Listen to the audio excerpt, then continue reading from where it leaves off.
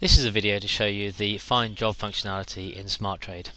If I just go down here and pick up my SmartTrade and go into the sidebar and pick find jobs and bring up the find job screen. Now here you can see that we've got a numerous amount of uh, functions and fields to be able to search by. If I just go to the top here you can search by client name that you've added into SmartTrade as our previous video.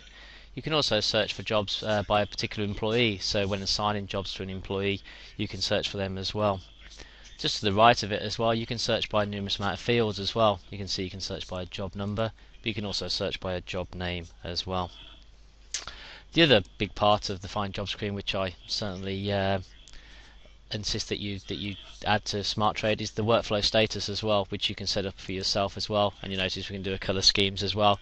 And this gives you a lot of much more ability. With the Find Job screen, you can track jobs, and this is the workflow status will make that even even easier for you as well. So people have you know job needs to be scheduled, scheduled.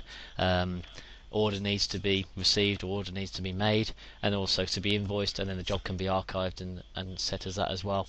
And you can bulk workflow statuses as well in SmartTrade, so you don't have to go into each individual job. You can do that all at, at once to, to save time and, and obviously streamlining your, your company as well.